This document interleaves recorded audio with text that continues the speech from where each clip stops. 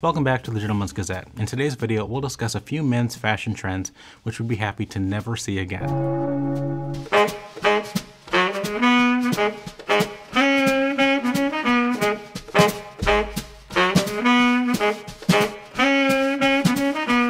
Now, fashion comes and goes, but often there are things that should just go, as in never come back, go away forever, scrub it from my memory.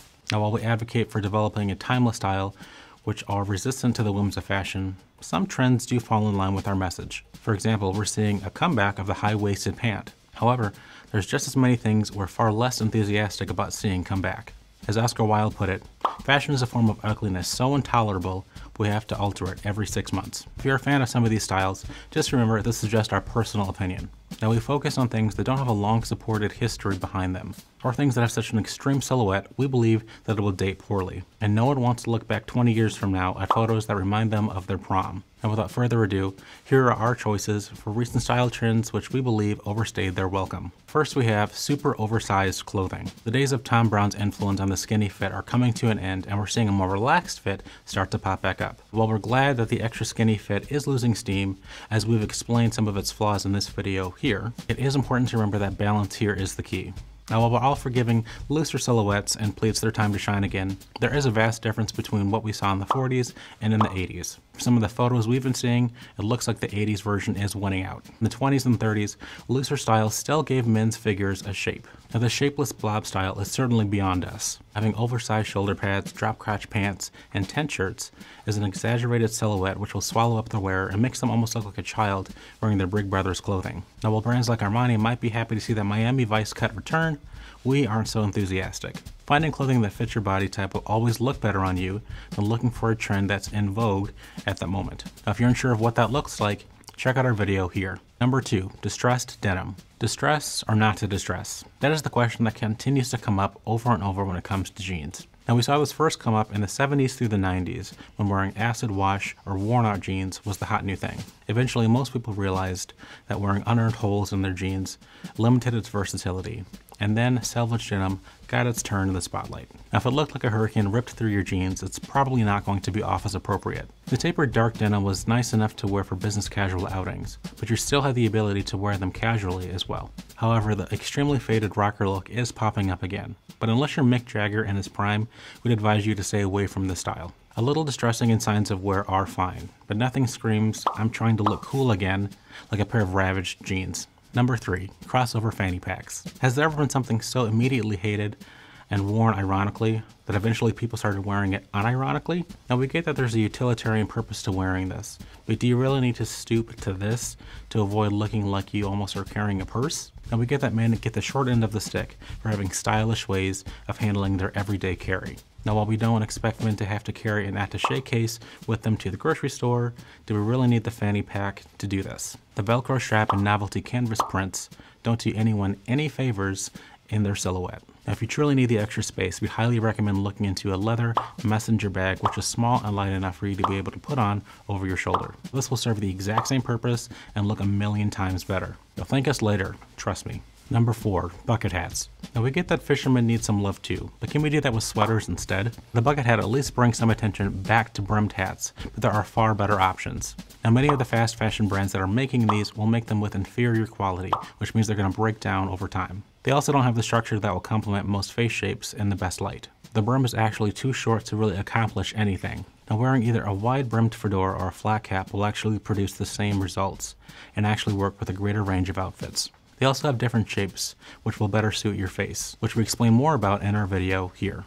Number 5. Deliberately clunky dress shoes and sneakers. Most of us already know about the pitfalls of wearing square-toed shoes, and how they can cheapen an outfit with their shape.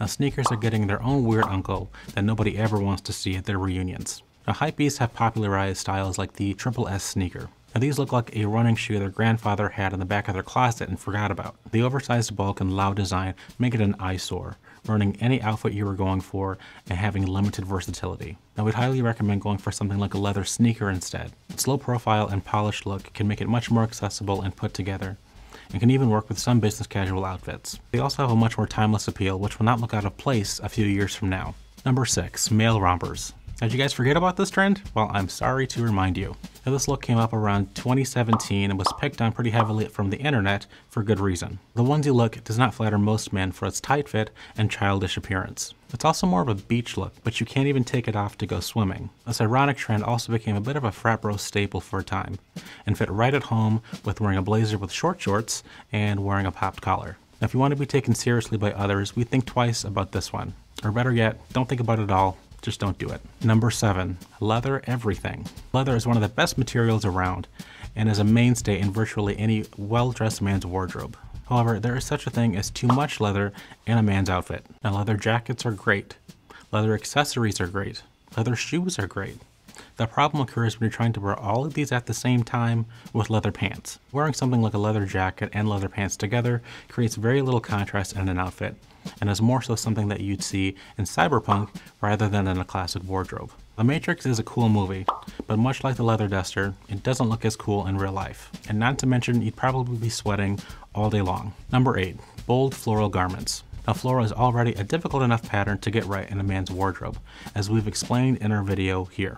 Now while it can work in small doses, this trend will crank it all the way up to an 11. While this bold pattern may have had some exposure in Rococo times. It's important to remember that its bold features are extremely foreign in a modern context, and because of this, it'll draw the eyes of any onlooker away from you and more so onto what you're wearing instead. These floral suits and pants instead will be reminiscent of something seen in the 70s and will be remembered that way. Now if you like this print, use it in your accessories and focus on things like ties, scarves, and pocket squares. There really can be too much of a good thing when it comes to pattern. Number 9. Fashion colors. Every year, some colors are in. Now, while we could support burgundy or olive getting their time in the spotlight over the last few years, we can't say the same for these. We've been seeing some neon colors in bright red, magenta, and orange. Now, these colors are extremely attention grabbing and will wash out the majority of skin types with their overpowering hues. They're also not colors that tend to blend well, and they're less versatile than their more muted counterparts. Now believe me, it's unnecessary to walk around looking like a bag of Skittles. Unless you plan on emulating the Joker, we'd suggest staying away from these trendy colors. Number 10. Sheer clothing. Clothing is supposed to cover your body, but it appears the memo was missed this year.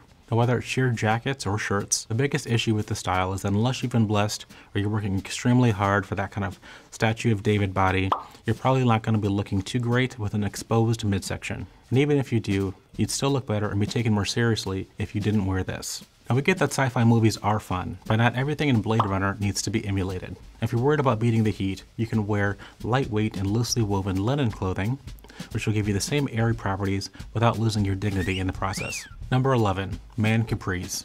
Yes, you heard me right, man capris. Now you might be thinking, men don't wear capris, do they?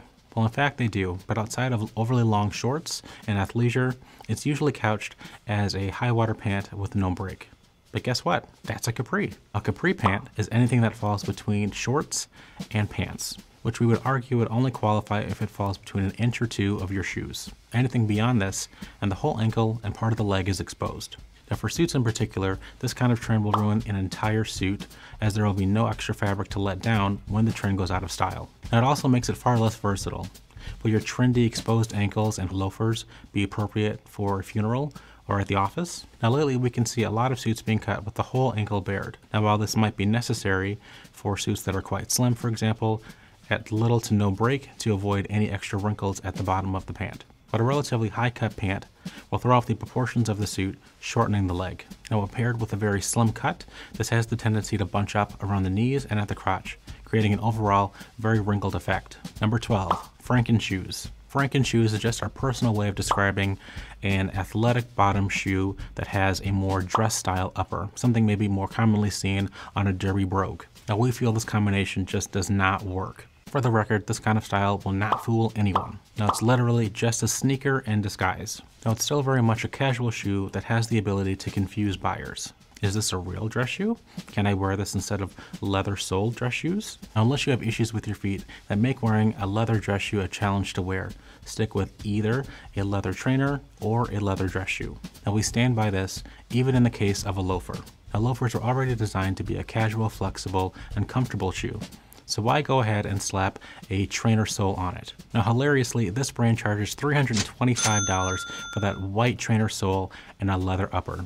Don't fall for it. And what is this monstrosity? Now it has the obvious white trainer sole, but it has the Oxford lacing system, the most formal of lacing in dress shoes. And yet it's perforated all over like a tennis shoe. And the upper is cognac leather? This is like the pickles and ice cream combination of the shoe world. Just because it's new doesn't mean you should make it. Shoe companies are under pressure all the time to come up with new things. But there are a world of options already available that you don't need to turn to these kinds of Franken shoes. Number 13, tiny sunglasses. Now these serve more of achieving a type of trendy look than actually serving a real purpose. You know, like keeping the sun out of your eyes. Who would want that? Now when it comes to eyewear, it's very important that you first and foremost are wearing something that fits your face. Then you can start looking at things like colors and polarization levels. Number 14, too much athleisure. Now I'm not gonna lie, I do do this myself, but the reality is there is an appropriate time to and not to wear this style of clothing. All day and every day is not ideal. I have to remind myself sometimes that I might run into someone or go somewhere where I'd like to make a good first impression and wearing shorts and a workout shirt and a cap are usually not going to be the best outfit. Number 15, wearing one color complete from head to toe. And while there are ways where you can wear one color and it looks tasteful, sometimes in a suit, if you wear one color all the way through, it looks a bit like the Mafia or like you're an extra in the Men in Black franchise. And when it comes to casual clothing, it can start to look a bit monotonous and sometimes even a bit bland. Try adding a pop of color, even if it's subtle, to your outfit, as I'm sure the onlookers will enjoy a little bit of something different in your outfit. Now today I'm wearing a green lightweight vest along with kind of an oatmeal natural colored long sleeve polo with dark denim. And then I also have on my Fort Belvedere Shadow Stripe socks in brown and light blue. I also have on a pair of Red Wing boots as well. Check out the Fort Belvedere shop here for socks like these.